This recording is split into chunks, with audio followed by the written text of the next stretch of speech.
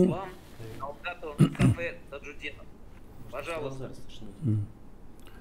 بسم الله الرحمن الرحيم الحمد لله وبه نستعين والصلاة والسلام على رسوله محمد وعلى آله وأصحابه أجمعين Глубоко уважаемый Роман Николаевич, муфти Альфит Хазрат, дорогие участники нашей сегодняшней конференции, семинара, совещания, посвященной теме профилактики экстремизма и терроризма, сердечно приветствую вас от имени Центрального духовного управления мусульман России. Ассаламу алейкум ва рахматуллахи та'аля ва баракату. Эта тема, она не нова. К сожалению, в 2020 году в связи с большой бедой, которая охватила и нашу страну, и все страны мира, пандемии коронавируса, мы начали мало об этом говорить. Да, пандемия – это беда. Но в то же время испытание для всех нас. Сегодня мы даже некоторое время, несколько месяцев, были вынуждены прекратить и пятничные богослужения, массовые мероприятия, посвященные каким-то датам, даже проведение богослужений, праздничных молитв. Но слава Всевышнему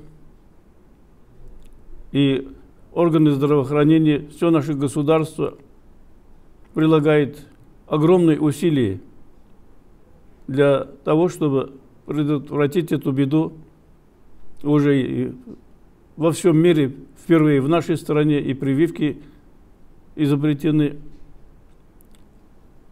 Даст Бог, победим и эту беду. Но экстремизм, тем более самый изощренный его, ведь религиозный экстремизм и терроризм, это такая беда, для которого прививку придумывать невозможно. Она должна быть в нашем естестве. То, что касается религиозных организаций, верующих традиционных конфессий. Православия, ислама, иудаизма. Во всех священных писаниях, будь то в Торе, Библии или в Коране, говорится, что основная цель не с послания священных писаний и сути проповеди всех посланников Божьих за всю историю человечества была одна – установить божественный миропорядок. А он зиждется только на любви. И в Библии говорится «возлюби ближнего». И пророк Мухаммад, саллиллаху алейхи говорил, ни один из вас не, не будет, не сможет стать настоящим, искренним, верующим, пока не будет любить и желать другим то, что любит для себя. А другим это не касается только единоверцев, а всего человечества, даже неверующих. На самом деле неверующих и нет. Я в жизни за 70 лет даже одного десятка настоящих неверующих не видел. В жизни человека проходят различные периоды, и детство, и юность, и зрелые годы. И поэтому взгляды человека, его мировоззрение меняется. И уже почти что три десятилетия по нашей стране да и в мире идет духовно-нравственное возрождение.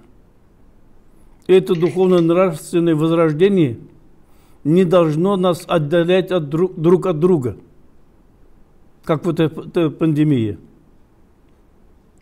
Потому что экстремизм и терроризм – это страшнейшая болезнь, потому что поражает разум – не только почки, не только легкие, разум и сердце поражает. Вот чтобы этого не допустить, и Всевышний, создав весь мир и всех нас, и во всех священных писаниях утверждается Всевышним, что мы от Адама и Евы, то есть одна единая семья. Ненависти и противостояния быть не должно, когда у человека есть истинная вера. Об этом, даже приводя цитаты и истории из Евангелия, и из священного Корана, из священных книг буддистов, говорил президент нашей страны Владимир Владимирович Путин на недавнем нашем совещании на встрече тоже онлайн. Мы священнослужители, какой бы конфессии не относились, это прекрасно знаем и об этом говорим во всех наших выступлениях. Но не только на пятничных или праздничных проповедях нужно говорить об этом. О том, что взаимоотношения людей прежде всего, как мы относимся к друг другу, должны строиться не только на взаимоуважении, взаимопонимании. Оно должно закрепляться сердцем. Это творение Всевышнего, каждый человек – к окружающей природе, к животному миру. Даже здесь пророк Мухаммад, алейhi когда его спросили, неужели даже отношение наши к животным, к природе, даже за это мы будем спрошены, пророк Мухаммад, алейhi говорил, несомненно, и за это будете в ответе бережнее отношение к окружающей среде. Но прежде всего отношение к людям. Каждый человек является наместником Бога на земле. Божественный план притворяет в этой жизни. И его успешное выполнение может быть только в братском отношении к друг другу, во взаимопонимании, взаимоуважении – в мире и согласии. И на земле нашей отчизны уже веками этот золотой стержень взаимоотношений наши предки нашли. И прежде всего руководствуясь традиционными духовно-нравственными ценностями, заложенными в священных писаниях Всевышним Творцом. Поэтому возбуждение вражды, ненависти – экстремизм и терроризм является высшим выражением неверия, отрицания и Бога, и священных писаний. Мы священнослужители, мусульмане, христиане, православные христиане, иудеи, какой бы традиционной конфессии мы не относились, должны понимать, что это основная суть послание Всевышнего за историю человечества. И уделять этому огромное отношение. Например, в исламе тоже есть покаяние, так же, как и в других традиционных конфессиях. Но грехи у нас подразделяются на две части. Это, первое – это прогрешение, грех перед Всевышним. Если молитву не вовремя исполнил или забыл – посты, поклоны. Это взаимоотношения между человеком и Богом. Он по милости своей, несомненно, простит. Даже в течение семи часов пророк Мухаммад, саллиллаху алейhi говорит, эти грехи не записываются. Может, он покается. Может, перестанет грешить перед Богом. Но есть грехи в отношении личности, человека.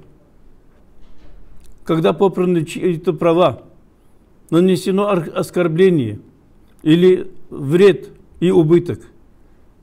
Тысячу раз, если даже человек, совершивший ее, покается, это покаяние Всевышним не, при, не принимается, пока этот человек не подойдут тому, кого оскорбил, кому принес вред.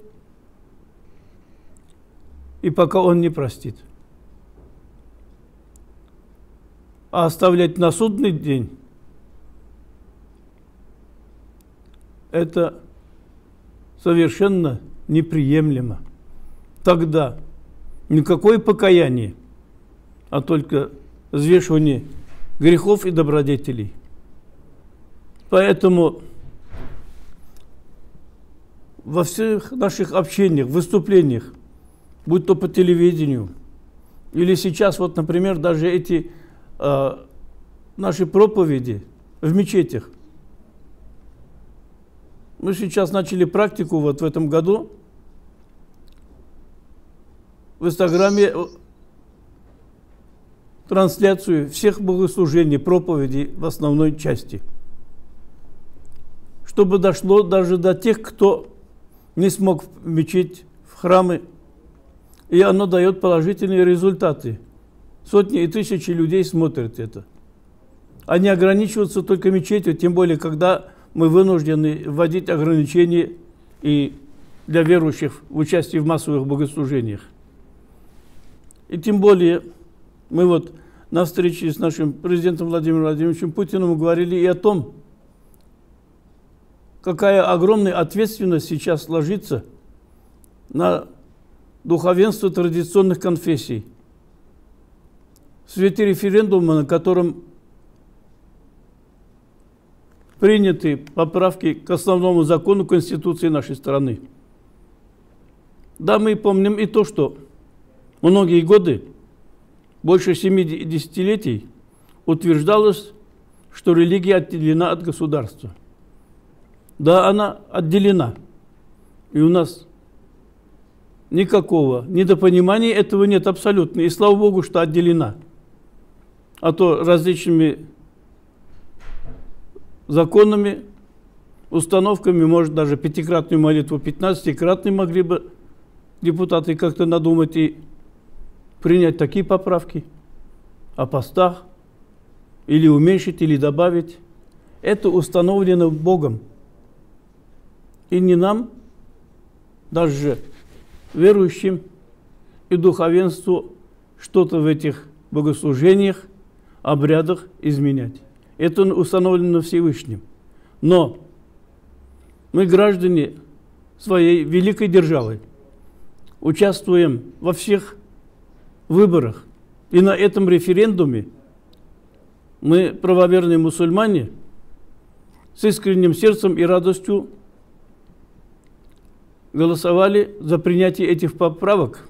Они касаются и экономической, и политической жизни нашей страны. Но и главнейшее в том, что сейчас в нашей Конституции упоминается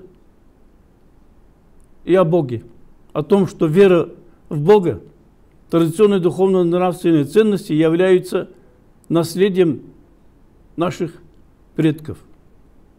Это после трех лет с 1917 года, когда никакого упоминания о Боге, об этих духовно-нравственных ценностях совершенно не было. Всем государствам. И эти поправки приняты не случайно, это не оговорка никакая. Это стержень того, что 193 народа нашей великой отчизны, мы сохранили веру и крупицы этих духовно-нравственных ценностей. И сейчас деятельность духовенства, религиозных организаций, несомненно, будет претерпевать изменения, налагать огромную ответственность не только на речение имени вновь родившимся – или венчание и поминки, похороны. Мы уже сейчас, за последние 20 с лишним лет, участвуем и в общественной жизни нашей страны, в укреплении мира и согласия между последователями традиционных конфессий, между всеми народами нашей великой державы. И это составляет цемент, монолит нашей страны. Это не просто добровольная деятельность. Это священный долг. Не только законом, Конституцией, но и Богом установленный для всех нас. Призыв к миру и согласию, к взаимопониманию, уважению друг друга, забота, забота о младших, о детях, о внуках, о последующих поколениях. Это прививка, как вот в детстве от кори или других болезней э, прививки делают, также и своим детям. И пророк Мухаммад, саллиллаху алейхи об этом очень ясно сказал. «Куллю маулюдин юляду аляль фитра». Каждый ребенок приходит в этот мир с естественной верой, которая вложена Всевышним, так же, как душа. А потом родители – Фаабаваху юхайбуйданихи ва юнасуранихи ва юмаджисанихи. Родители до совершеннолетия воспитывают христианами, иудеями или даже язычниками. А мы, правоверные мусульмане, несомненно, должны воспитывать своих детей и внуков – верующими в Бога, любящими отчизну, и во взаимоотношениях и с родителями, и с братьями и сестрами, и с одноклассниками, и на улице, и на работе, везде, и в школе, чтобы относились друг к другу, как к своим братьям и сестрам. Это не только нужно, это необходимо для того, чтобы человек в своей жизни ощущал спокойствие и в душе, и в разуме, и чтобы счастье этого и вечного мира стало для него благодатью от Создателя. И поэтому сейчас нам нужно еще больше усилий. Прежде всего, я думаю, направить на внедрении основ традиционных конфессий молодежи. В школе это уже началось по предложению Межрелигиозного совета России во главе с его святейшим патриархом, святейшим патриархом Кириллом, основы культуры и истории традиционных конфессий. В армии и православные, и мусульманские священнослужители проводят работу – Сейчас в Министерстве э, обороны образована рабочая группа. Э, для того, чтобы религиозные организации традиционных конфессий еще больше могли уделять внимание по работе по воспитанию и доведению основ традиционных духовно-нравственных ценностей нашим солдатам. Но этим только ограничиваться невозможно. И сейчас мы уже несколько раз обсуждали на Межрелигиозном совете вопрос о введении уроков нравственности в школах. Это с самого начального образования до завершения и в вузах. Потому что мы видим совершенно, как многие страны Запада и других – уделяет внимание тому, чтобы внести раскол и недоверие во взаимоотношении народов нашей страны. То, что произошло на Украине, и введение, и раскол в православной церкви Украины. Мы видели с огромной болью и тревогой то, что происходило в Белоруссии, и даже в межнациональных отношениях, как это в Киргизии, убаюкиваться абсолютно нельзя. То, что сейчас с пандемией боремся, и я искренне благодарю Роман Николаевич и Министерство региональной и информационной политики Оренбургской области, э, муфти Альфит Хазрата, за то, что вы организовали вот эту нашу встречу и эту конференцию. И, несомненно, из итогов референдума июльского по внесению поправок в Конституцию, основной закон нашей страны, вытекает и необходимость развития и укрепления государственно-конфессиональных отношений. Духовная безопасность и духовное пространство нашей отчизны должно быть ограждено от всех попыток привнесения экстремизма и терроризма в духовную сферу нашей отчизны. Мы должны совершенно ясно понимать, что это не просто какой-то мухомор, который вышел, э, э, вырос среди нас, экстремизм и терроризм. На самом деле это зараза, которые упорно и последовательно пытаются внести в нашу страну. Так же, как разделили весь исламский мир, как это было и в 80-е годы, в 90-е годы. Но, слава Богу, государственные конфессиональные отношения, поддержка государства традиционным конфессиям, она явно дает свои плоды, огромное внимание уделяется и президентом нашей страны, Государственной Думы сейчас э, новые поправки в сфере законодательства в отношении религиозных организаций должна приниматься, даст Бог, иншаллах.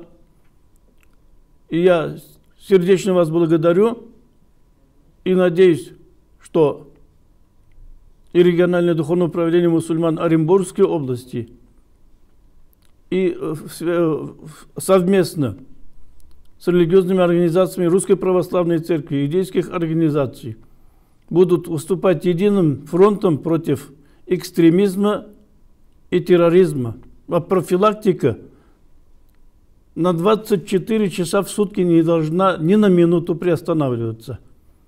Это наша страна, наша отчизна, и от наших усилий в немалой мере зависит мир и спокойствие на земле нашей Родины.